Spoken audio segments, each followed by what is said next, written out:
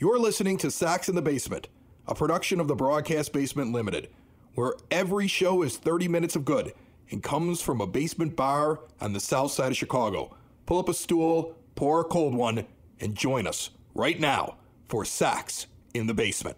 Heard everywhere podcasts can be found and always at soxinthebasement.com. Um, I have uh, this stuff, this goo on my arm.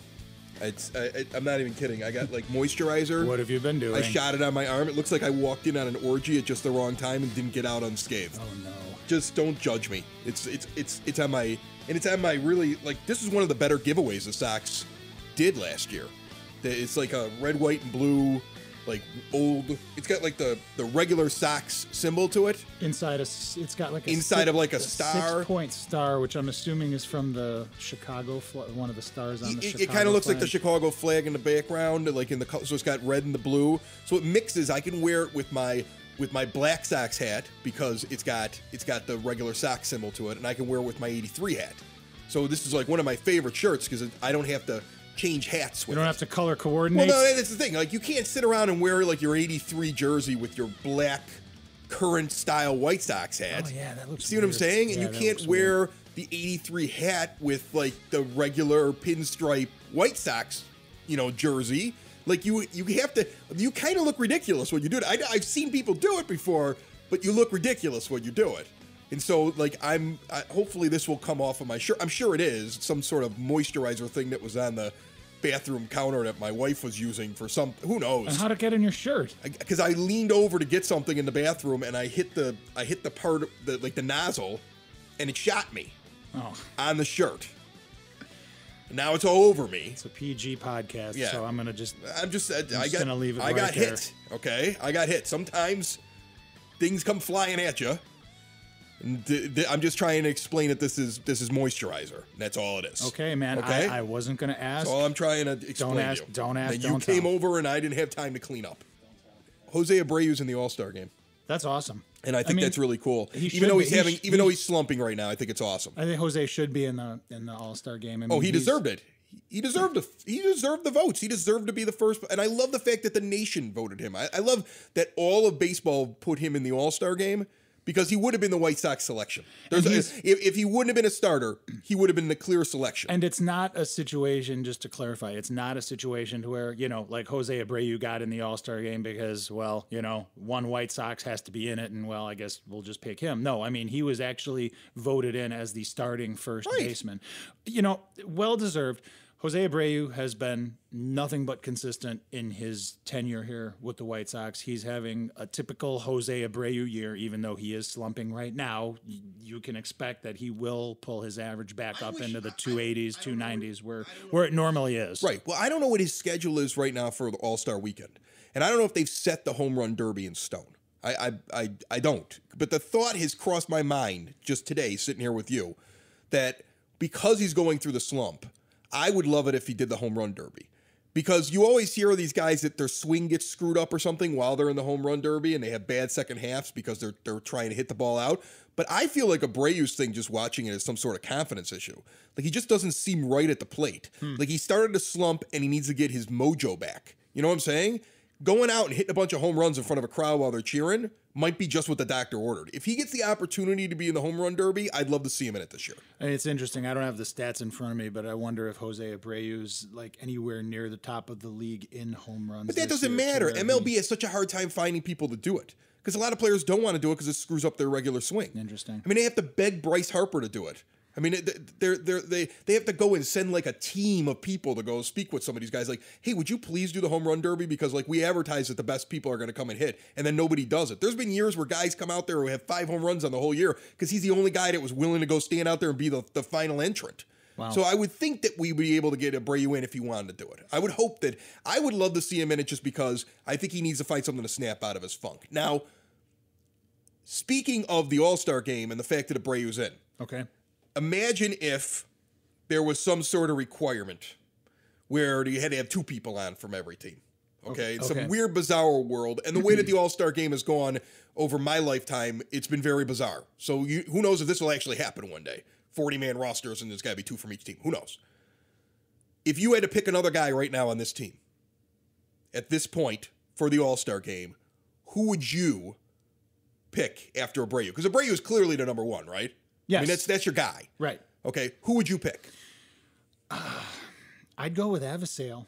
But he hasn't played enough. Like I thought about that, Right. But he hasn't played a lot. Like you're right. He's the second best player on the team right now. Uh, I uh, think in it- my mind. it would have to be if if we're in this fantasy world where you have to pick two people, no matter what. Um, Avisail would be my choice because if you have to do that based on previous, based on his previous year alone, Right. And the fact that in the short time that he's been back from his injury this year, he's on course to have another type season like he did last year.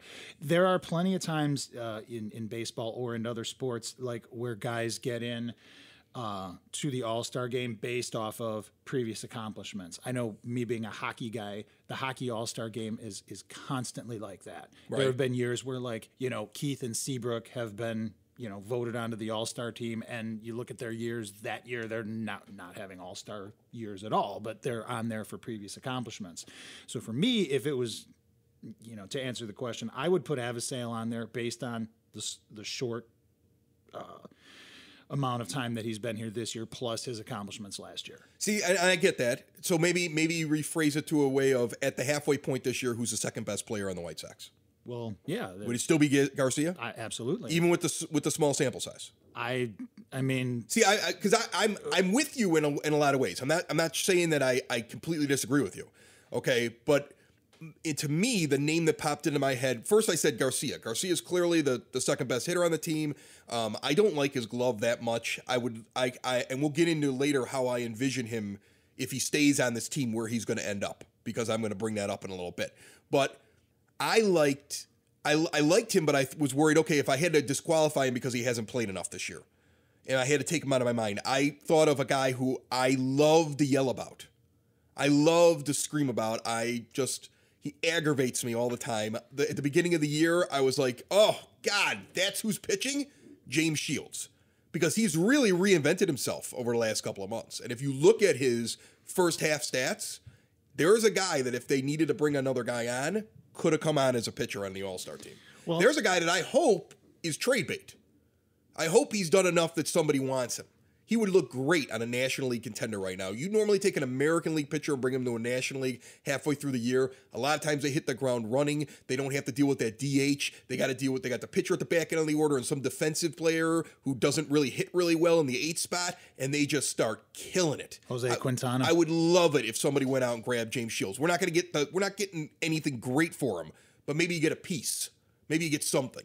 You know, so yeah, I, I would have no problem if they got rid of James Shields. But but I but I think that he could be an argument for your second player in the All Star game. James Shields is interesting because I don't have the stats in front of me, but you know, the last time I looked at it, um, th- the win loss record is terrible, obviously, but Right. we can discount that because but I don't the- count wins because the team because the team is bad. Right. Um, After the sixth inning, this th- this everything's up for grabs with this team. Right. I always look at like, how do they do through the first six innings? They did really well today. Well, that's a win, even though they end up losing because the bullpen is a dumpster fire.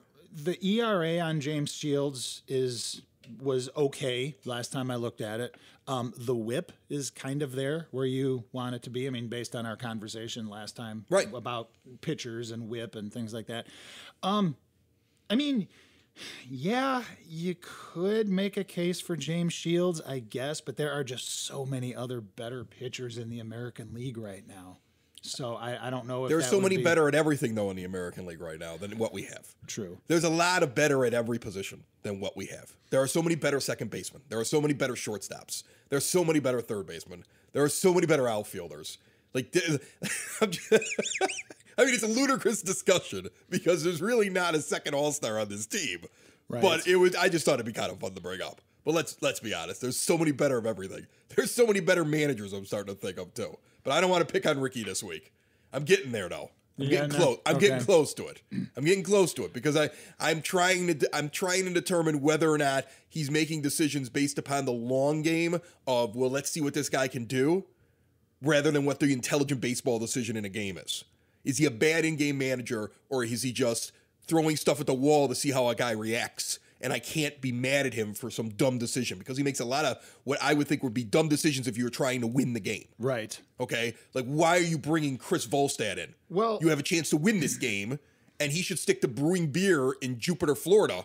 With, with, with his friends or his brothers or whatever, whatever he's Does- got. does he brew beer? He's got a brewery, Oh. and he should go there, and he should stay there, and he should brew beer. And To oh. me, I would do that if I were Chris Volstad. I want, I want, I. In fact, I pledge right now to buy a case of Chris Volstad's beer, no matter how bad it is, and I will keep his beer in this bar for all of the existence of this podcast if he will just go there tomorrow and never come back.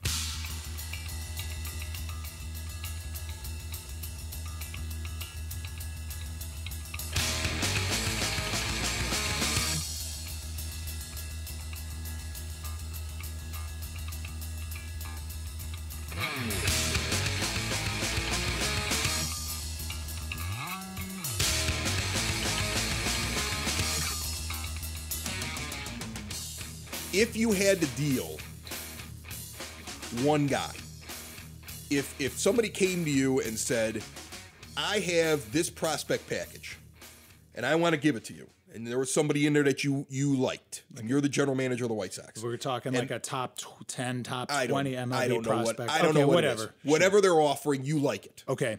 And they said, but I want either Abreu or Avi Garcia. And you would get the same package for Abreu or Avi Garcia.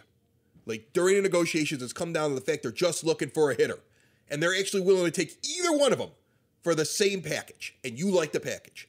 Which guy would you trade? Garcia, Really? I think so. You would trade Garcia. I do. So you're trading a guy that's still in his 20s, still in his prime years. Late 20s, though. I, Late 20s. I think he's 27. So I mean, like that. That's he's not he's not older than that. Okay. Okay. So I, I, he, I think he was 26, turning into 27 this year. I'd have to look that up, but I, he's right in that range. And Abreu is about 31. Okay. And you're trading Avi Garcia. Why? A couple of reasons. Um, as I had mentioned before about Abreu, so Abreu has been nothing but consistent since he's been here. Okay, Abreu will just about give you 25 to 30 home runs and 100 RBIs just about every year.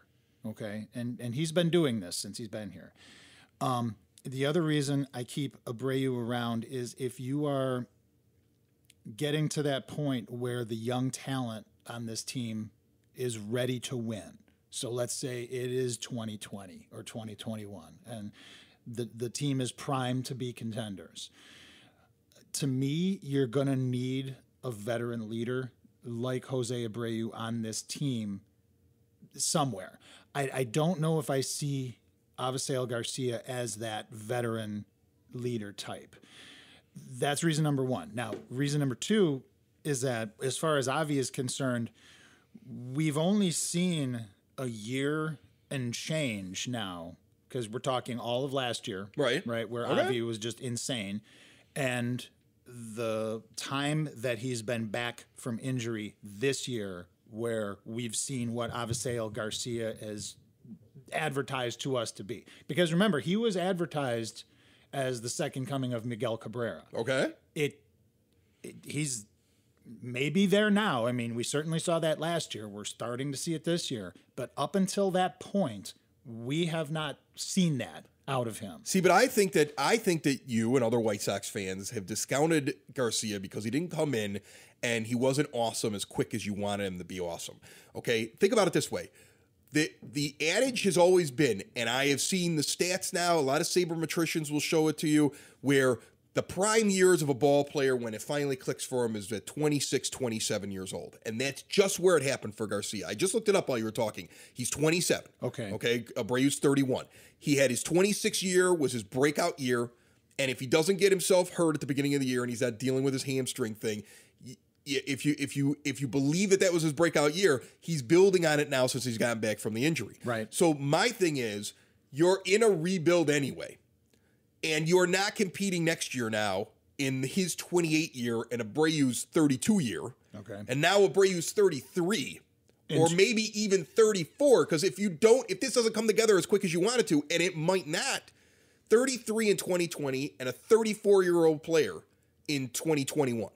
That's when the decline is happening to players. Okay. See what I'm saying? Right. So my thing is, I don't think he's going to be the effective guy you have now when it counts, whereas Garcia could. And I also have always felt that Garcia is not a right fielder. He's not an outfielder. Okay. I've never, I don't think that's where he ends up. I think Avi Garcia is playing first base in Really? three years. Really? I Not- think not Avi D- Garcia not- is playing. not No, I think he's standing at first. I think he's standing at first base. I think he can play that position. Okay. I don't think that he's playing the outfield. I think he's one of these guys they convert, they bring him in, they have him work out at first base. He might end up as a DH. I don't think he's supposed to be in the outfield, but I think his bat is going to mash right around the time when you need him. You're right about the leadership thing. I don't get that from him. I don't get that vibe. Right. Abreu is the clear leader of the team. But at some point he's going to decline and I just don't know if he's there in in a couple years when you need him. Like I love him. I don't want to trade either one of them. Honest to goodness. I'm not interested in trading either one of them. I think whatever you get for them, unless it's like a like a package where you know those guys are going to be ready in the two or three year window that you want to start bringing guys up. I'm not going long term prospects with these guys. And the reason because I like the both of them on my team. And the reason for that is because both of their contracts, uh, if I'm not mistaken, both of their last time I, both of their contracts uh, expire in 2019. So 2019 is the last year that both are. And you're going to have to pay one of them, and that's the problem. Right. So so but but the point is this: if 2019 comes around and it looks as if the the it looks as if the young kids are developing the way that you want them to, and 2020 looks like you could be contenders. You're paying them both. You pay them both. You you Okay. absolutely you absolutely Right. pay them both. I think a, a big Plus part- a dump truck full of money for Manny Machado. right exactly. I'm sorry, I want a dump truck full of money dropped on Manny Machado's lawn sometime when free agency begins in this offseason. I don't care where he ends up right now in the trade thing. I don't want him in a trade. I don't want him as a rental. No, because he's a renter right I now, want to yeah. dump a truckload of money on his lawn. I want to put him at short where he wants to play. Okay. I want to laugh as Brian Anderson makes a face about the entire thing. And Brian I- Anderson. or what is it? Uh, Tim Anderson. They both. they Brian both- Anderson- Brian- listen, Brian Brian, Ander- Anderson is just as annoying as Tim Anderson in my book. They both aggravate me. Oh, They're no, both unrealized no, no, talent in my mind. No. They Brian are. Anderson I'm is sorry. Way, Brian Anderson is way no worse more Andersons ever on this team ever again. Brian Anderson is way worse than Tim Anderson. Listen, at least Tim Anderson is That not. is true. At least I Tim would Anderson. rather have Tim Anderson At least Brian Tim Anderson. Anderson is not getting into bar brawls with Nick Swisher at 115 Bourbon Street No, but on a he's yelling at umpires like he did this past weekend when he should have swung at the two pitches that were right down the middle. I did see He had an at bat where he's out there and he takes a pitch down the middle, and Steve Stone goes, "Well, you're not going to get very many more of those." And two pitches later, he gets another one right down the middle against Dallas Keuchel, and he goes. Hey, hey, what's he waiting for? Like that's that's what they're talking about in the booth, and it's like Right. I'm screaming at TV like, what is he waiting for? And then he he's out on a slider that he clearly goes around enough on that it's strike three. Okay, and he thinks he checked it up, and he starts throwing the f bomb at the umpire's direction. I mean, ninety percent of the umpires would have rung him up and thrown him out of the game right there.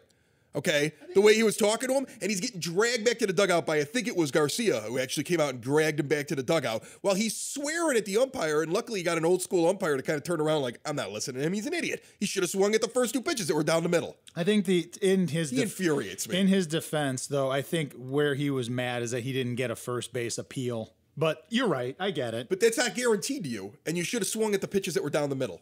I mean, I tell kids when I coach them in little league the same thing. What, do- what, why is the bat on your shoulders? Okay, and I even understand the idea of I'm going to take the first pitch because I want to see what the guy's doing. I might be going through something, whatever. When you do it a second time in the at bat, you don't have a right to yell at anybody when you end up striking out. Right. Is that because you you gave the pitcher two strikes, and this guy's supposed to be a this guy's supposed to be a future core member of my team, but he can't control his emotions in a situation like that. I don't know. There's just something about him drives me uh, up the wall. If he was good at defense, I'd excuse it. If he was hitting 290, I'd excuse it. But you're you're you're you're a middling hitter who's not good at defense, and you're doing stuff like that. Those are the things that just drive me up the wall as a fan. I mean, it's bad enough I'm watching bad baseball, but I can accept that. But there's a point where the cup overflows with my annoyance. And Tim Anderson seems to be lately the guy who's constantly pouring that last little bit into the glass and it overflows and I get aggravated. You know, And Brian Anderson too. Screw him. Brian Anderson. The following story is completely true. The names have not been changed because Hi, I'm Chris Lanuti. I really got to read it. It's three words long. You're like getting ready, like adjusting yourself. Join me and my friends as we belly on up to my homemade nine foot oak bar in my basement on the south side of Chicago. I say expose them to as much violence and nudity as you can at an early age to prep them for life. Was it hard to climb up the ladder in your skirt? No, it's just embarrassing. Oh, okay. Each week, we talk craft beer, sports, fatherhood, and the oddities of life. Your show is so different and fascinating. Wait, this is a podcast? I just come over here to drink. Join us for 30 minutes of good each and every week. Welcome back to the Missing a Chromosome podcast. It's the Broadcast Basement on Stitcher, iTunes, and BroadcastBasement.com. If you had five guys, it has to be alive. You can't pick somebody who's dead. Okay. Okay. You had five people that you would want to interview on the Sox in the Basement podcast because now we've we've done some shows. We've had a few people come on as guests. Okay, they're but they're media people. Okay, and maybe you want another media person. Maybe there's somebody you'd like to talk about who covers talk with who covers the team. Maybe you want to talk with talk with a player. Maybe you want to talk with somebody that's in the front office, something like that. If you could pick your your your your top five people you'd love to get down here on the show, I'd love to hear that and why. And I, I've got my own list, but I I, I want to let you start off because I went out to dinner last night with my wife and and and a couple of friends, Okay. and the comment was made that I talk too much. I don't know what they're talking about. What on this podcast On or just in general? even at the table. I guess I was talking too much at the table. You I, I get on a roll. never. I, I don't know. I, it's a curse. Anyway, that's why I want to let you start. Well, you're in the right profession.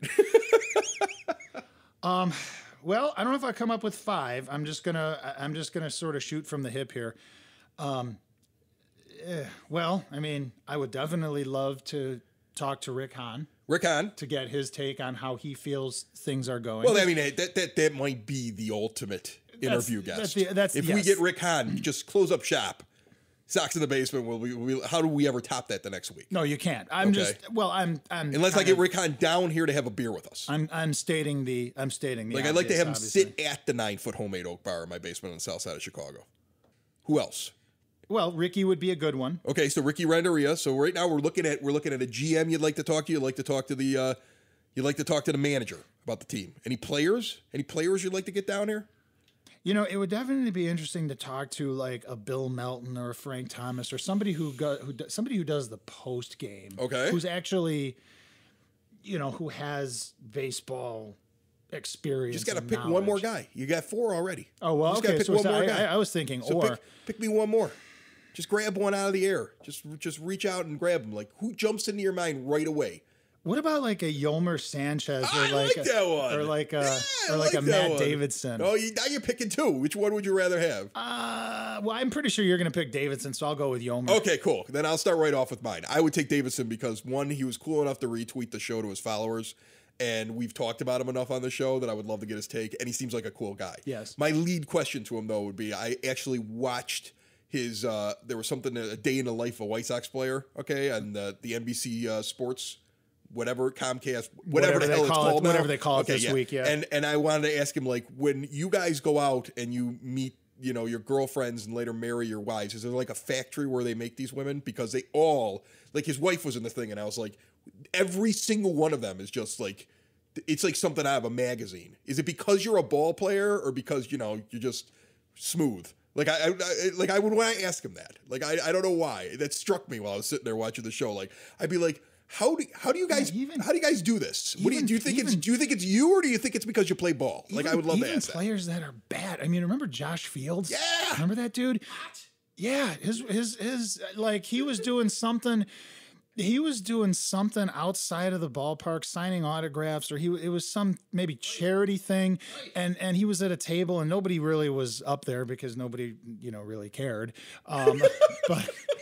But I, yeah, his, his wife was his wife eh, or girlfriend, his wag, if His you wag, will, his wag. was with him, and I'm just like, oh my god, Where do they find them? this guy is t- a terrible ball player. and How look does at the he? girl he's pulling in. I know. Right. I, I don't know if they hand them out in the minor leagues. Like, is there like a like a like a like some sort of matchmaker thing that they do in the minors? This is what this is what this was the question that popped in my mind while watching that. I'm like, I would love this. This would be something I would ask Matt Davidson if I could get him down here.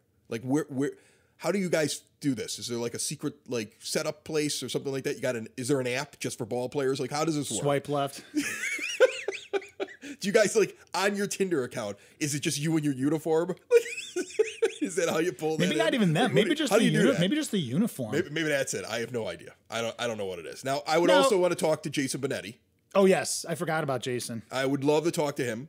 I I I love how he broadcast. I love how he um how he describes the game. Uh, There are a lot of people that don't like him because they're Hawk fans and they they they don't like the change in how things are. Well, I love o- how he that's plays okay. off That- the stone. I enjoy him. That's okay. The, anybody who likes Hawk Harrelson is not going to be alive in another five years anyway. I so- don't. There's some people who just love the Hawkaroo. They like just, people they our it. age and younger. Oh yeah, yeah, yeah. That- that's- I, there are some people who love. Him. I like the Hawk for the nostalgia factor, but I can't deal with him for 162 games anymore.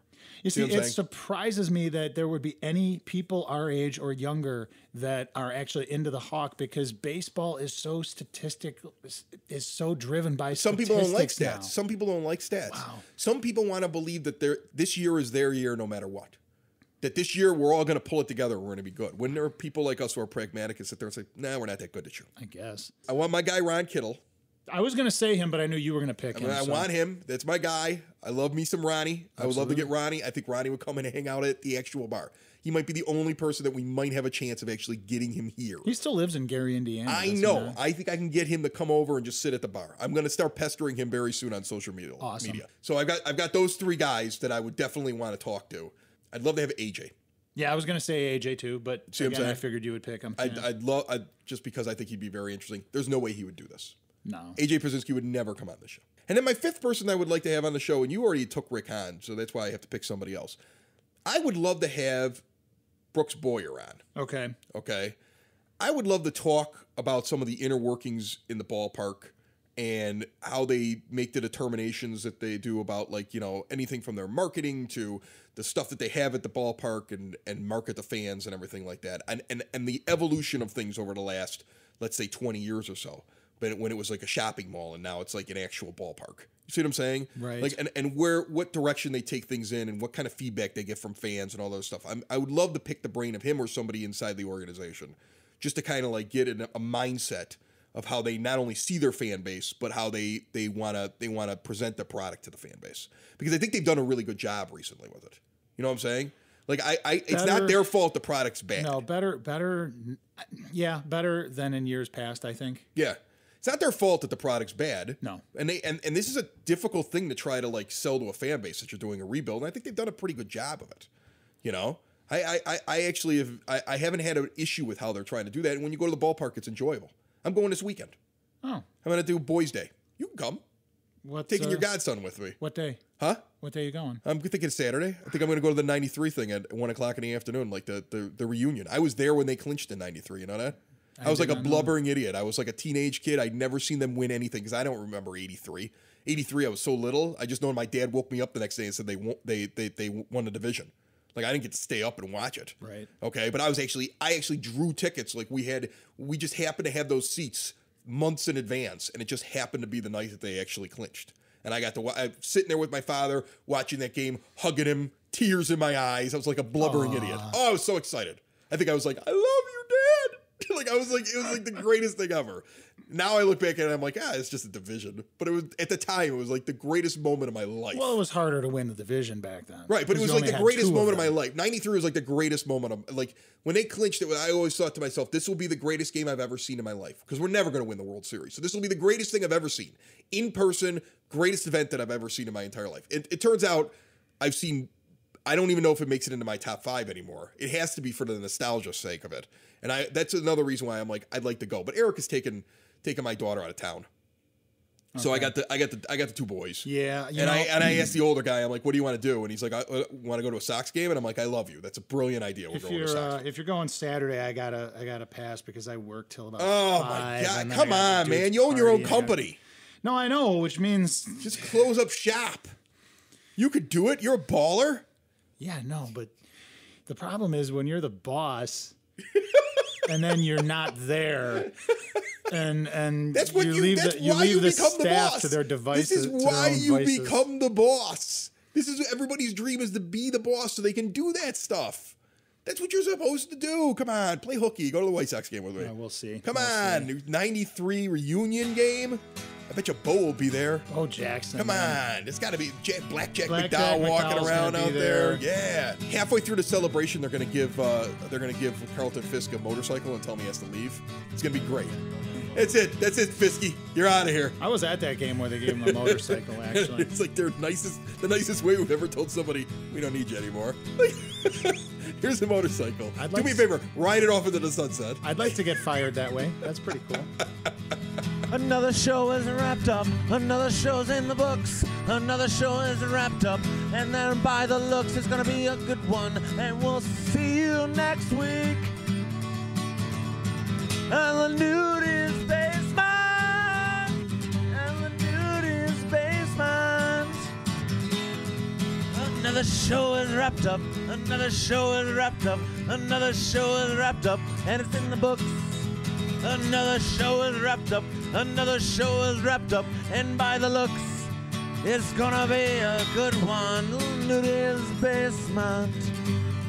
Oh, broadcast basement. The nudie's basement. The broad basement. Slancha. That was like Dropkick Murphys or something, right? I felt like it.